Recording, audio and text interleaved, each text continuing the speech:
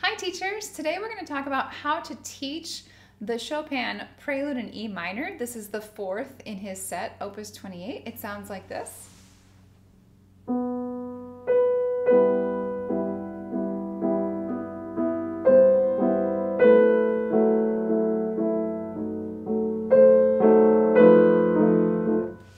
And on from there. I am specifically talking about how to teach this to intermediate level students, recreational students, and not necessarily how to play this if you are an advanced professional performer. We're going to have different expectations on our intermediate students than we would if we paid money to go to a concert and hear the complete set of Chopin preludes. So just wanted to throw that out there as a little caveat. Uh, today I am looking at this in the Festival Collection, Book 6, and I just recently did a review of this series, so I'll link that in the description of this video. If you haven't used this series before, I highly recommend it. This particular prelude is listed on the RCM syllabus level 7, and for my Illinois colleagues, this is on our AIM level 8. So obviously, many people know this piece. This is one of the most famous ones, and I think that's partly because in general, the Chopin preludes are well beloved, but also because this is one of the easiest Chopin pieces to actually execute on the piano. It's not easy to play amazingly beautifully, but it is one of the easiest to read and play. Uh, it's it has that classic melancholy pull on your heartstrings romantic character to it. Um, and of course, it's obviously this beautiful right hand melody with left hand accompaniment. So, in some ways, that makes it a comfortable piece to play as well. So what do our students need to know and be able to do in order to play this piece? We're in E minor, not a terribly difficult key, but with a lot of accidentals. So please just make sure your students are reading their accidentals, keeping them through the whole measure, etc., etc. And then we have in that E minor key a lot of E minor triads and other triads that belong in the key, such as A minor and then some seventh chords, particularly B7, since that's the dominant of this key, but other seventh chords as well, including some diminished sevenths and things like that. Most of them are just triad inversions, so uh, not big reaches, but there are a few octaves, particularly places like measures 19 and 20. And then we do have a couple of four note chords. Uh, and the chords at the end, the, the little coda, the last two measures, are a widespread. So just make sure before assigning this piece to your student that he or she has a big enough hand to be able to do that. And one quick comment about technique in measure 17, where you have that four note chord, it's really important that the left hand align in front of the body in order to reach that, because it's right up here, right in front of my Yamaha letters on my fall board. Um, and so you're coming from this low B, and you have to bring your whole arm over. That chord is actually a difficult reach for me personally. I don't have any problems with octaves, but the voicing of that chord is a little bit tricky. If I try to do that and I let leave my elbow out to the left, it's gonna create this with my hand, and um, that is a recipe for injury right there. So move the entire elbow, the entire forearm behind this chord when you come up, and then gradually the forearm just travels back down the keyboard as you finish the piece. All right, so in just general triad inversions, the way that I teach them, I teach them quite young to my students. If you're using a method like Piano Adventures or Piano Safari, they include piano, sorry, they include triad inversions pretty early, around level three or so. And I want my students practicing those a lot because they happen in all of our piano repertoire, whether it's blocked or broken, whatever.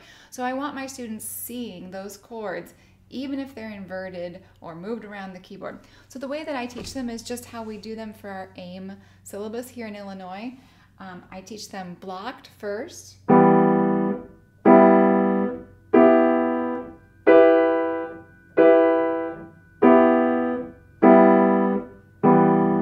And then broken.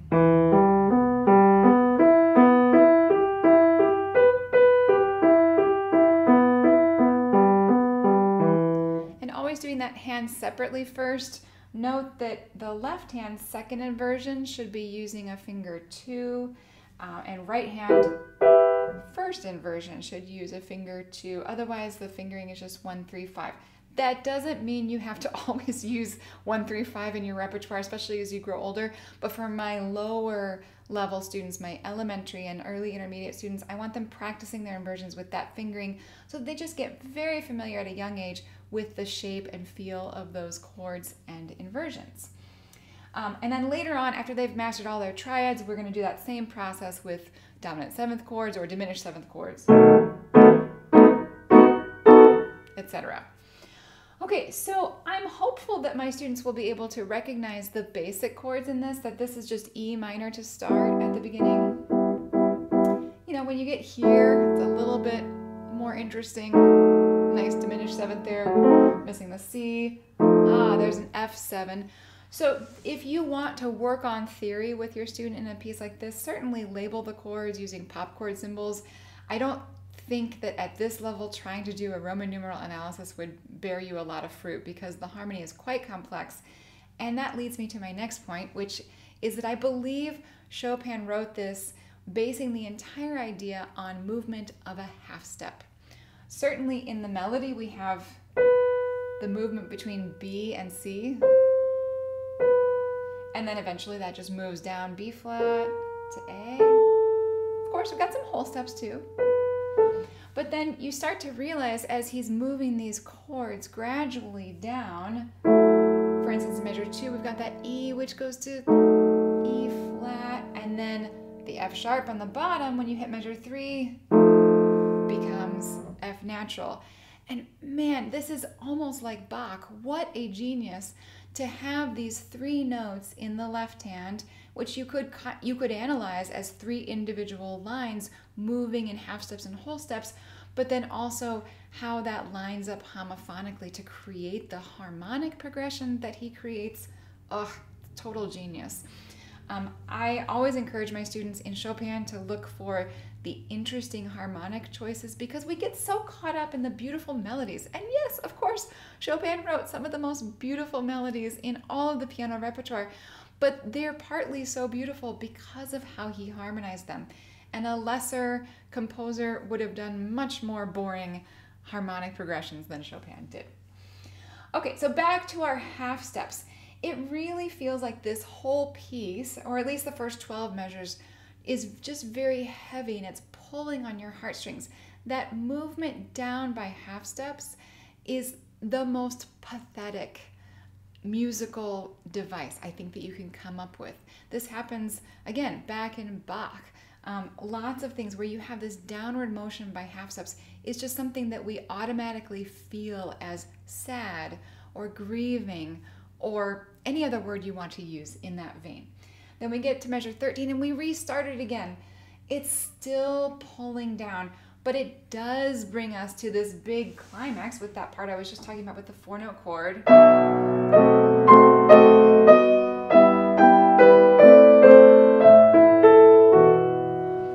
And then it's like it tries to come back up. Oh, try again with a appoggiatura even.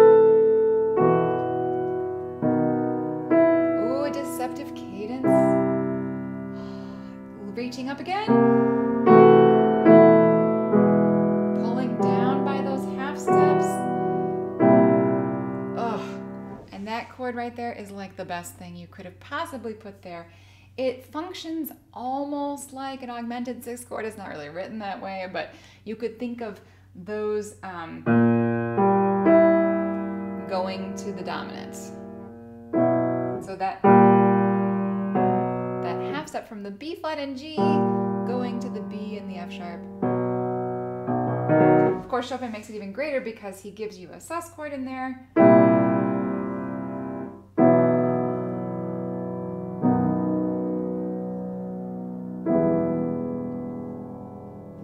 And of course, we should be working on voicing with our students. What notes do you want to bring out? Do you want to hear that lowest bass note?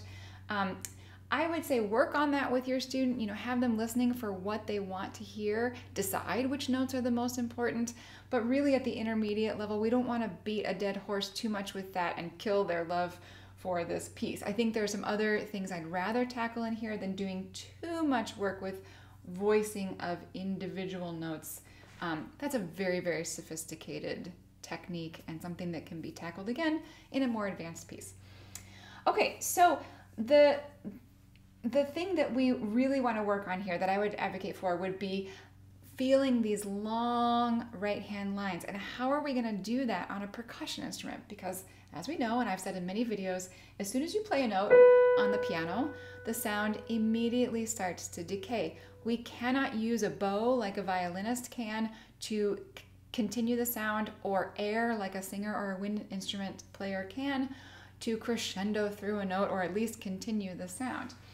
So the secret sauce here is simply using your left hand. If you play the downbeat um, with a nice, you know, solid sound and then immediately diminuendo to the next chord. So the first chord, measure one, the second one's going to be a little softer. And then you can crescendo, again, dip down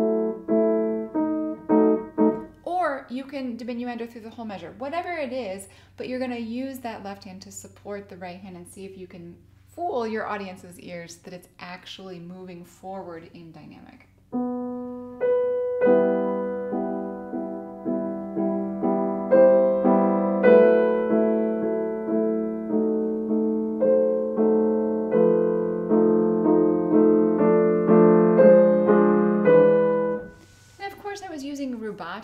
As well. If you just play this absolutely steady, it's going to sound completely dead.